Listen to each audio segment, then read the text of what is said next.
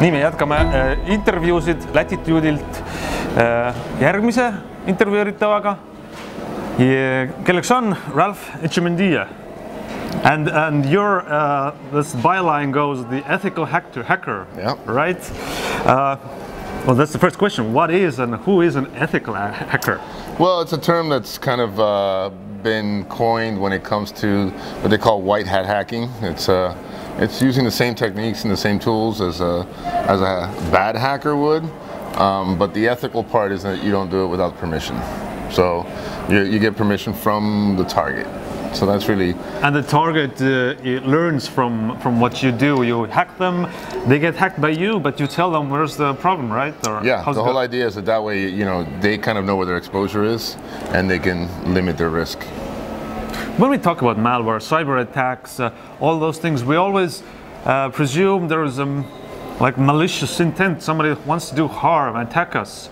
Is it always the case, or there's, could there be a, a case for hacking if there's a, like a real ethical reason behind it?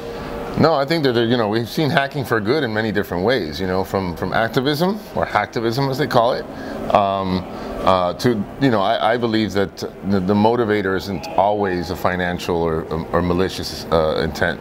Um, the motivator for me when I got started was, was actually just curiosity. What can I make this do? And if I try this, will it work? Um, and so when it does, you're kind of like, oh wow, well, then can I try that? And that works. So for me, it was more curiosity than anything else. Unfortunately, nowadays, most of the motive is financial, and whether that motive is financial in the wrong ways, meaning cybercrime, or whether it's in the corporate way, still it's financial. In a corporate way, that means basically Well, I mean, take the whole Facebook Cambridge Analytica thing as an example. Just because it's a legitimate, co- you know, corporation or company, doesn't necessarily mean that they're, they're doing things in, in, in your best interest. I mean, there's a there's something in the in the um, uh, environmental movement uh, which uh, applies here because this is the internet is, or the cyberspace is an environment just like this is. So um, that it shouldn't be up to the companies. It shouldn't be up to you to basically say, prove to me that you're not doing anything wrong with my data.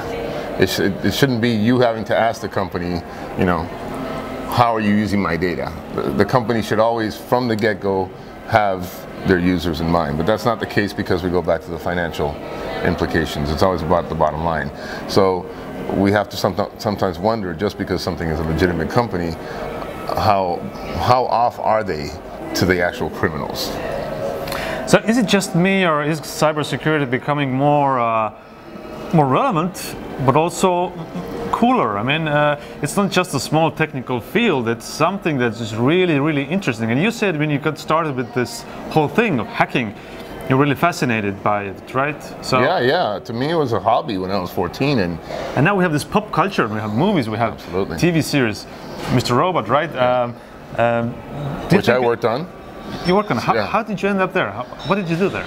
Um, so I, I moved prior to, to starting here in Tallinn. I actually moved to Los Angeles and started working with Oliver Stone on a movie called Savages.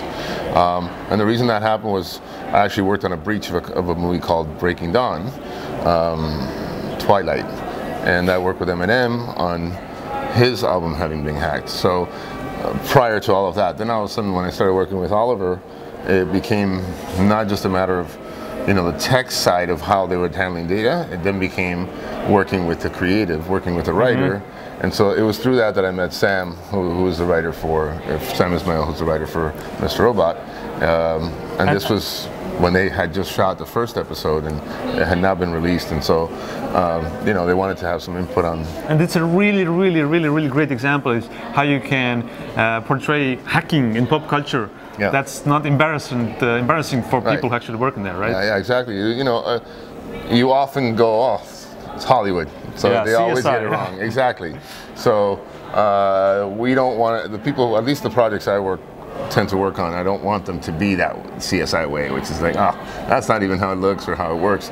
We, you know, want it to be as, as you know, don't forget that it's still entertainment, but we want it to be as legitimate as possible, and uh, and and that, you know, it is somewhat educational. So. So you started early. A lot of uh, people who are hackers, engineers, IT specialists, they started early, maybe in teenage years. Do you think we should uh, teach kids in any age to uh, get to know computers better, more, not just that they would understand and make uh, spot the difference between CSI and, and Mr. Robot, which one is cooler, but to actually uh, get along better in this now digital life. Yeah, absolutely. I mean, I'm all for the younger the better that we expose them to how things work. Um, you know, as I said in my talk, you know, we believe we should teach kids how to pick a lock as soon as they get old Uh-huh. enough to figure out how the lock works because you're teaching them about a system. Everything is ultimately a system uh, versus just here's the iPad and use it, right? Um, we want to be able to, to sort of spark that, well, how does this work and why does this work this way? And then sort of build that in the mindset of, of, of, of children. So I don't, absolutely, I think that the, the younger we can expose them to, uh, to that sort of mindset, the better. Great advice. So if you get an iPad for your child, also uh, teach him her how to Yeah, crack it a open. Exactly. Yeah. Thanks, Ralph. Thanks for My talking pleasure. to us. My Okay. pleasure.